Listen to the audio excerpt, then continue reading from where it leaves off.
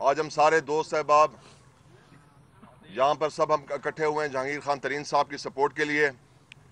यहाँ पर चेयरमैन साहिबान भी मौजूद हैं, जो लास्ट टाइम चेयरमैन साहिबान थे और जो कुछ उससे पहले भी थे। यहाँ पर वाइस चेयरमैन साहिबान भी बड़ी तादाद में मौजूद हैं। यहाँ पर कौंसल साहिबान भी बड़ी तादाद में यहाँ पर मौजूद हैं यहाँ पर। और हम सब यहाँ पर नून लीग के भी हमारे साथी बैठे हुए हैं। नून लीग। जो पहले नून लीग में थे। थे। अब नहीं है। जा कुछ कुछ है? हाँ कुछ है? कुछ जा कुछ कुछ है और कुछ नहीं है अब यार ये इसको इस तरह कर और चीज़ तो नहीं इसको तरह संभाल लेना। जा कुछ कुछ थे कुछ हमारे साथ शामिल हो गए हैं। तो यहाँ पर तमाम दोस्तों का एक यहाँ पर कट हुआ है सारा। और हम सब लोग इनशाला जहांगीर खान तरीन साहब को अपनी भरपूर हिमायत का इंशाल्लाह यकीन दिलवाते हैं आप। यहाँ पर एमपी साहिबान भी बैठे हुए हैं। नाम ले। शायद महमूद खान साहब जो मुझे कहते कि जहीर भाई आप नहीं लड़े तो मैंने कहा मैं अगर लड़ता? तो फिर तो आप कैसे लड़ते? मैंने कहा आप दस बारह से मेहनत कर रहे हो तो अब आपका भी हक बनता है। भाईजान बैठे हुए हैं क्या नाम है अपना एम साहब हमारे? बाबर शाह साहब बाबर शाह साहब बैठे हुए हैं। हम इनके लिए दुआ गो हैं। इनकी भी बड़े भरपूर तरीके से इनकी कंपेन चल रही है। तो इनशाला ये भी कामयाब होंगे इनशाला शाहिद खान भी कामयाब होंगे। ये पूरा एक टीम वर्क होगा इनशाला। आप देखेंगे इनशाला। इस इस इलेक्शन में ये बड़ा अजीब सा एक यहाँ पर एक माहौल बना हुआ है इलेक्शन का। लेकिन इनशाला एक टीम वर्क होगा भरपूर। और डॉक्टर खालिद खान खाकवानी साहब मौजूद हैं काफ लीग से ताल्लुक है लेकिन ऑब्वियसली तरीन साहब के साथ शाना बशाना चल चलते हुए नज़र आएँगे आपको इनशाला। जी हाँ ये पूरी टीम है हमारी इनशाला। और हम आपको तरीन साहब ये इंशाल्लाह यकीन दिलवाते हैं कि मैं खैर अपने सूबाई उसकी बात करूँगा अपने हल्के की 215 की कि हम इन अल्लाह ताला के हुक्म से भरपूर इन कामयाबी हासिल करेंगे। ये सारी हमारी टीम यहाँ पर मौजूद है हमारे दोस्त अहबाब सारे और सारे बड़े वजनदार और इज़्ज़तदार किस्म के सारे लोग हैं ये। ये सारे जुड़ गए आपके साथ इन और आप देखेंगे कि कैसे हम इसको आपकी इलेक्शन कंपेन को आगे लेकर चलेंगे। अभी हम अंदर अंदर बैठेंगे और further further union council wise हम फटाफट आप लोगों से इनका इंट्रैक्शन भी हो जाएगा और नंबर भी हम शेयर करेंगे एक दूसरे के साथ और इस तरह फिर ये कंपेन हमारी बढ़ती जाएगी इन जी बहुत शुक्रिया।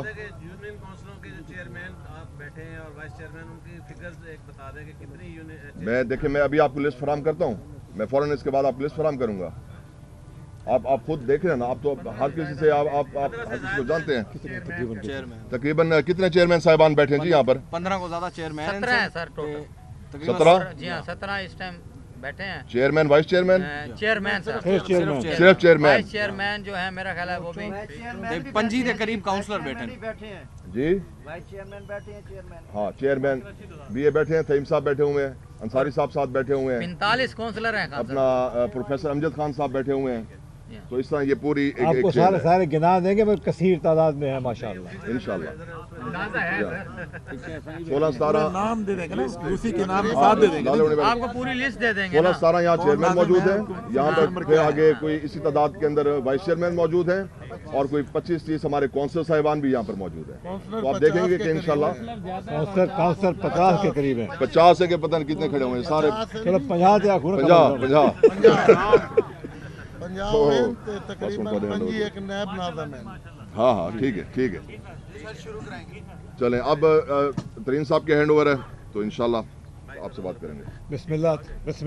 रहीम जहीर खान साहब आपका मैं बड़ा मशहूर हूँ शुक्रिया। आपने मेहरबानी की तमाम लोगों को यहाँ पे इकट्ठा किया। और मैं आपको मालूम होगा मुझे जानते भी हैं कि मैं जो जहाँ बैठ जा के बात करता हूँ ना उसमें हल्की बात करने की मैं कोई ख्वाहिश नहीं है। मतलब मैं जो बात करता हूँ उसको मेरा सोच समझ के करता हूँ क्योंकि फिर मेरा ईमान है कि उस बात को पूरा करना चाहिए। यही एक हमेशा से सीखा है वाले साहब से और अपने ख़ानदान से। और यही इन यहाँ पे हम करेंगे भी सही और कर भी रहे हैं। मैं आपको अपने बारे में अपने बारे में मुल्तान में इलेक्शन लड़ने के बारे में कहना चाहता हूँ। ये मेरा बड़ा पुराना शौक़ था। मगर कोई और वजूहत की वजह से कहीं से कहाँ चले फिर कहीं पहुँचे। मगर अब मुझे एक दिली खुशी है कि मैं अपने घर मुल्तान में आके इलेक्शन लड़ूँगा। ये जगह वो है जहाँ हमारी पहचान है। और इन ताला आप देखेंगे कि इस हलके के लिए वो कोशिशें करेंगे वो कोशिशें करेंगे जो पहले शायद किसी ने नहीं की। मैं आपको अर्ज़ करूँ, मैं ये बड़ी बात सोच मतलब ऐसे नहीं बात कर रहा है कि मैं बढ़ के मार दूँ, वोट लेने की खातर ये कह दूँ, वो कह दूँ। अगर मेरी ज़ुबान से एक बात निकलेगी तो उसको पूरा करना मेरा पूरा फ़र्ज़ होगा और मेरी पूरी कोशिश होगी और इन ताला अल्लाह कामयाब करेगा। जितने ये लोग आए हुए हैं, जहीर खान साहब हैं, हमारे ये दो एम पी एज़ हैं, कैंडिडेट्स हैं, बाकी पीछे लोग खड़े हैं। अब मैं यहाँ पे जो आके इनकी खातिर काम करूँगा। ठीक है, मुझे भी इज़्ज़त मिलेगी इन मेरी, ये लोग दिलवाएँगे।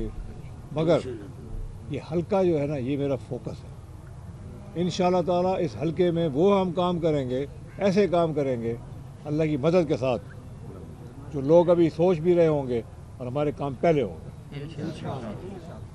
इन ताला इस हल्के को हम ऐसा बनाएँगे कि लोग याद से देखें इसको। पहले मुल्तान के दूसरे हल्कों से आके यहाँ लोग देखें और फिर और शहरों से लोग आके देखें। इस हल्के के अंदर क्या काम हुआ? ये बहुत बड़ी बात बहुत सीरियस बात कर रहा हूँ मैं। ऐसी मज़ाक से नहीं कर रहा। ये इन हमारी कोशिश है। ये हमारा टारगेट है। और तीखा एक है ज़िंदगी में। एक कि अगर आपने कहीं पहुँचना है तो टारगेट ऊँचा रखना चाहिए। हमें ये नहीं करना चाहिए कि जी हम पहले से बेहतर करेंगे।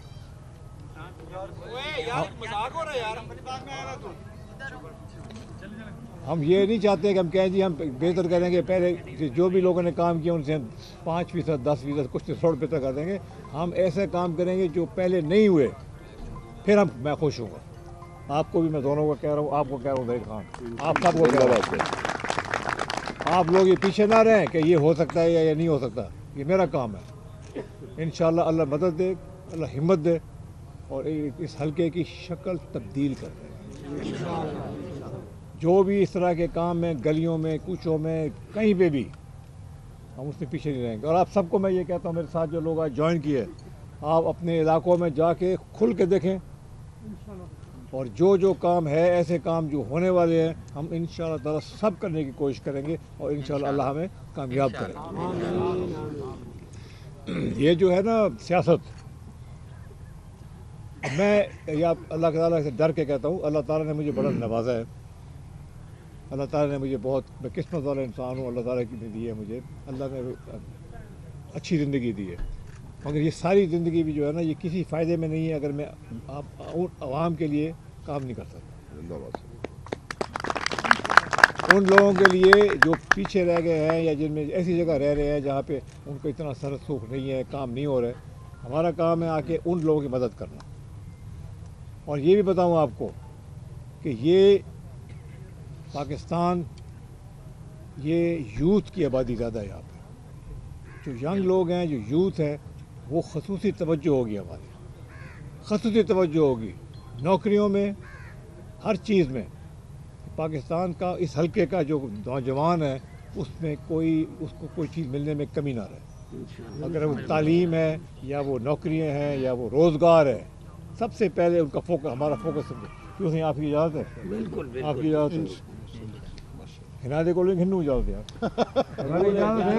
इजाज़त है इजाज़त है खान साहब खान साहब एक छोटी जी रिक्वेस्ट है कि जहीर भाई ने पहले ई हल्के बुनियाद रखी है साकू सडे खान साहब साकू ना जहीर भाई ने बड़ी खिदमत की है और उन बाद शाहिद भाई बिलखसूस ਉਹ ਤੁਹਾਡੀ ਨਾ ਕੰਪੇਨ ਚਲੇਂਦੇ ਪੈਣ ਐਮਪੀਏ ਦੀ ਉੱਤੇ ਐਮਐਨਏ ਦੀ ਤੁਹਾਡੀ ਆਪਣੀ ਐਮਪੀਏ ਦੀ ਪਰ ਅਸਾਂ ਆਦੇ ਕਿ ਸਾਰੇ ਦੁਹਾਂ ਭਾਈਆਂ ਕੋ ਨਾ ਮਜ਼ਬੂਤੀ ਨਾਲ ਥਾਮ ਗਿਨੋ ताकि गाल है कि असा पहले भी बड़े महरूमिया के शिकार हैं। असा हूँ नहीं थीना चाहते सारे नौजवान इतने बेरोजगार हैं कि तुम सोच भी नहीं सकते यकीन मैंने सो बेरोजगारी की हद है और तरक्याती काम भी सारे बहुत ज़्यादा इन इलाके हैं। महरूम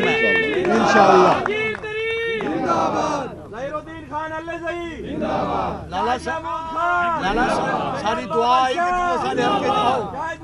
सारी दुआ सारी दुआ आई कि सारे हल्के जाओ। प्रेस कॉन्फ्रेंस वालों को सवाल करने थे फिर हम आपस में बैठ करते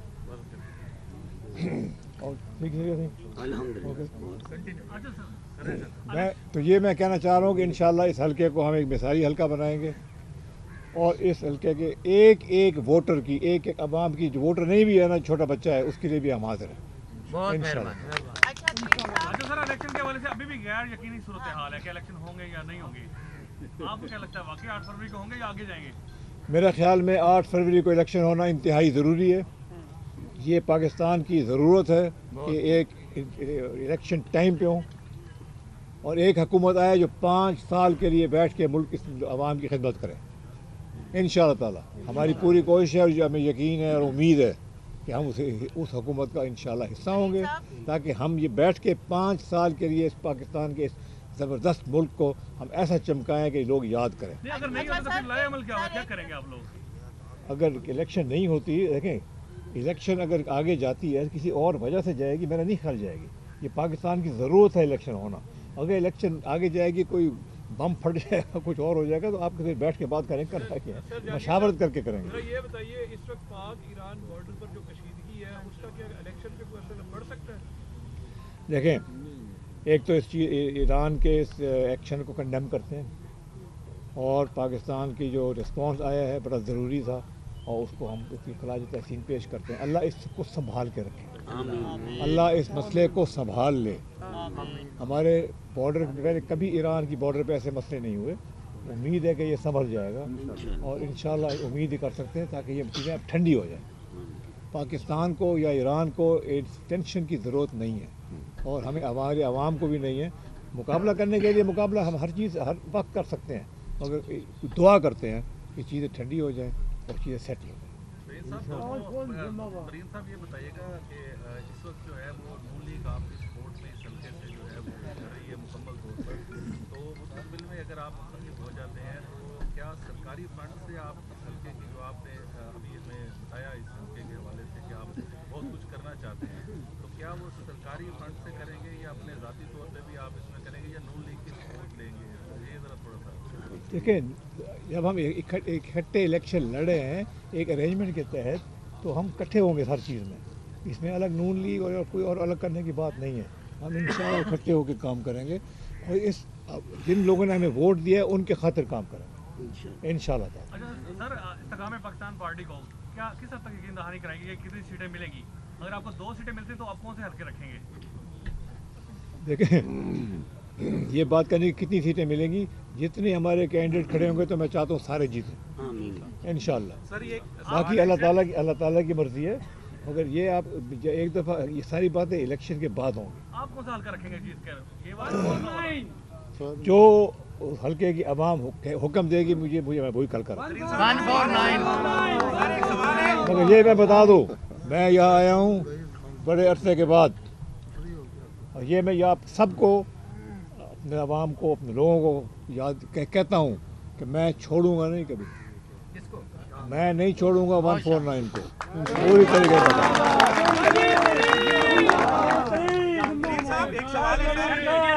मुताबिक ये खबरें भी चल रही हैं कि जो आज़ाद उम्मीदवार इस वक्त इलेक्शन लड़ रहे हैं अगर वो जीत जाते हैं तो उनको ज़बरदस्ती आईपीपी में ज्वाइन करवाया जाएगा। क्या इस तरह का आईपीपी का प्लान है कि जो आज़ाद उम्मीदवार जीतेंगे उनको आप लेंगे यार मैं एक बात बताऊँ ज़बरदस्ती ज्वाइन नहीं कराया जाता। लोगों को अभी वजह से ज्वाइन होते हैं। वो बात की बात देखें। मेरी बात सुने। पिछली हुकूमत बनवाई थी आज़ाद उम्मीदवारों को मिला के। आपको याद है ये भूल गए हो? हाँ याद है। दिन रात काम किया था तो उसमें अच्छी बात थी। अब अगर जो आज़ाद अच्छा सर ये बताइएगा बानी पीटीआई जो है वो माशाल्लाह आपके पुराने दोस्त भी हैं और कभी इस हालत में उनको देख के आपके जहन में ये आया है कि उनके साथ सही नहीं हो रहा या आपने भी सोचा है कि साड़ी निसी मनीदा सही थी ना पे? देखो इमरान खान के साथ मेरा बड़ा साथ रहा है। मगर अफसोस ये है कि इमरान खान ने के साथ जो हालात ख़राब हुए, वो मेरी वजह से नहीं हुए। अब क्यों इस पूरी महफिल में मैं नहीं कहना चाहता कि किसकी वजह से हुए, मगर मेरी वजह नहीं थी। मैं उसमें बिल्कुल बेकसूर था। जब हालात ख़राब हुए तो मैं चुप करके साइड पर जाके बैठ गया। मगर जब मेरे ऊपर एक ज़ाती वार किया गया, मेरी फैमिली का, फिर मैं चुप नहीं बैठ सकता था। फिर मैं आया और मैंने जो करना चाहिए था किया। सर ये बताएँ कि जिन लोगों को सूबाई हल्का 215 में और सूबाई हल्का 216 में टिकटें नहीं मिली हैं मुस्लिम लीग नून के वो नाराज़ बैठे हैं अभी तक कोई गए नहीं है। दूसरा यह है कि मुस्लिम लीग नून की जो तंजीमें हैं जो मुल्तान में वो भी अभी तक आपके इंतज़ार में बैठे हैं लेकिन आपके उम्मीदवार आम कोई उनके पास गया नहीं है। क्या आपने उनको नहीं लेना क्या फैसला कर लिया या उनको बनाने की क्या मतलब आप जवाब मुमताज़ भाई पिछले दिनों बलाल भट्ट साहब और अतर मुमताज़ साहब हम एक जगह इकट्ठे थे। उन्होंने बाकायदा ऐलान किया कि हम ये जो हमारा पूरा जहांगीर तरीन साहब शाहद खान साहब और मेरे समेत उन्होंने ऐलान किया कि हम इनके साथ हैं। मेरा ख्याल आपने वो सोशल मीडिया पे देखा नहीं। शायद आप ही बताएँ। वो सारे लोग साथ हैं और हर टाइम नज़र नहीं आ रहे ना सर इस वक्त। अभी नहीं, नहीं उन्होंने नहीं आ रहे। इस टाइम हम- भाई यहाँ पे इस टाइम इस टाइम तो साहब ने अपने जो उनके रुफका थे सारे साथी थे जहीर साहब पीटीआई में तो पीटीआई में थे ना वहाँ से मुस्लिम लीग नॉन में तो नहीं थे तो इसलिए इन्होंने अपने आज आज जो हो रहा है आज जो लोग खड़े हैं हमारे साथ वो जो जिन्होंने ज्वाइन किया जो हमारे इस पैनल को सपोर्ट कर रहे हैं वो लोग खड़े हैं हमारे साथ आप देखेंगे उन लोगों को हमारी और महफिलों में और आप चाहते हैं तो जिस जिस तरह आप बात कर रहे हैं तमाम लोगों को इकट्ठा करने का तो बहुत बड़ा जलसा होगा फिर शाह महमूद कुरैशी साहब नहीं है क्या मिस कर रहे हैं खाकवानी साहब आपका जवाब दें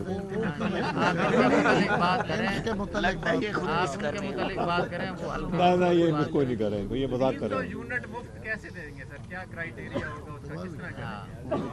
क्या मतलब किस किस तरह देंगे कह दें देखें, तीन सौ यूनिट तक, तीन सौ यूनिट तक के जो लोग हैं, हकदार हैं, कि अगर कोई मराद मिले तो उनको मिले, ज़रूर देंगे। अच्छा सर ये चूँकि जरी खिता है तो ज़रात पर आप बड़े एक्सपर्ट हैं तो ज़रात के लिए इस खत्े के लिए क्या करेंगे अगर आपको मौका मिलता है देखें, ज़रात जो है, वो पाकिस्तान की एक बुनियाद है।